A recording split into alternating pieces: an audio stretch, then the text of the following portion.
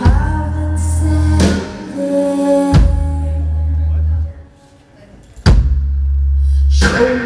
your darkness in my shadow.